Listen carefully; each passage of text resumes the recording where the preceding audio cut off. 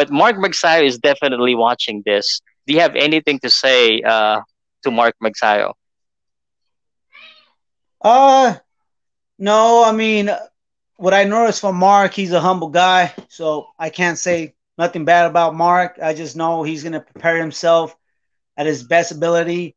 So am I, and we're just gonna give you guys a great fight.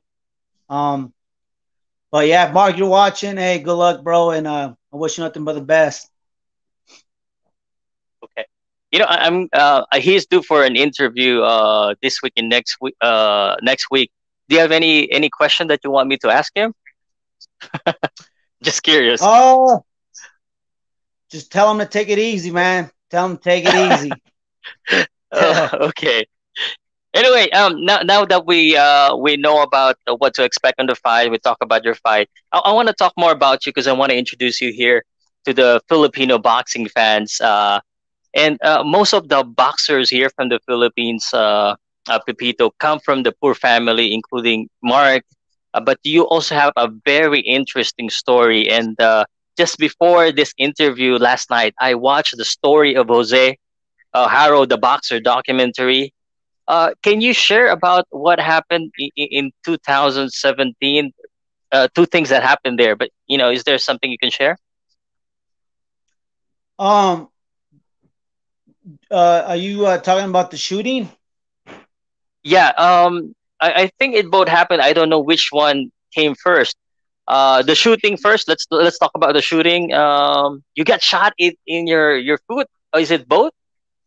Yeah. So uh, back in 2015, I was uh, like mm. I told you earlier, I, I I'm a sales rep for Pepsi, so I was uh, you know, mm-hmm. working um at a store and um, well after my shift, uh, anyways, uh, I was just at the wrong place, wrong time, and some guy uh mm-hmm. shot at me six times, mm-hmm. and uh, and I I got hit in each foot once, and um it sucked because at that time I felt like my boxing career was was taking off.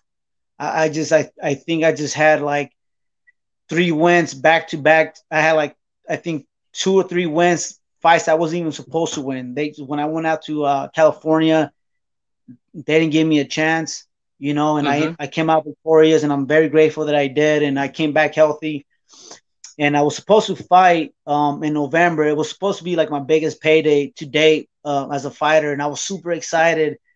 But then uh, I ended up getting shot, and obviously that put a lot of my plans on hold.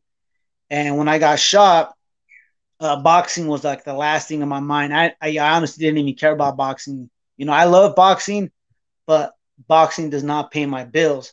So I was worried about how am I going to be able to provide for my family? And that was stressful. Okay. Uh, I, I just wanted to confirm what year was this?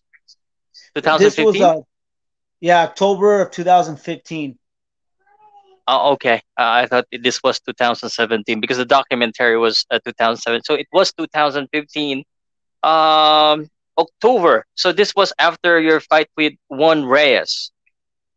Yeah. So is that right? Yeah. After that, yes. So like I think like a week and a half after that, um, that's when it happened. And I actually had a cast on. I had a cast on because uh, I hurt my right hand when I fought Reyes because Reyes was a tough, uh, tough guy. He just came forward and he just wouldn't stop. And um, but anyways, uh, um, when that when the shooting happened, I was just obviously stressed out because I, I wasn't sure what was going to happen to my feet. If I was going to be able to walk again and to be able to provide for my family. Like I said, boxing doesn't pay my bills, so I was like, how am I going to be able to work to take care of my family? I have a at that time I have four kids. I still have a big family, so yeah. Um, but um, but I recover from that. I I, I um I got two fights here at home. I won. Grateful that I won. Um, but then a year later, people, a lot of people don't know this. So a year later, October of 2016, I broke my foot running, my bone snapped because of the shooting. So I was off for another two to three months, and um, that back, okay. that happened a year later after the shooting. So a lot of people don't know that, but that happened.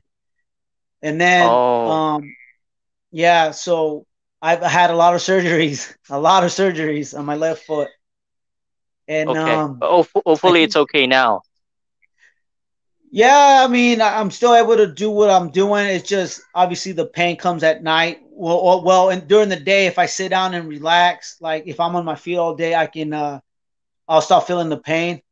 Um, my kids make fun of me sometimes because my my toes will get um swollen, and they uh-huh. they, they, call them little little sausages. Cause oh. just, yeah, and then uh, but so that happened in um to that October 2016 when I broke my foot again. Well, my bone snapped. So I was I had to recover. I think it was like two to three months. Powcast Sports. If you're new here, don't forget to subscribe and hit the notification bell.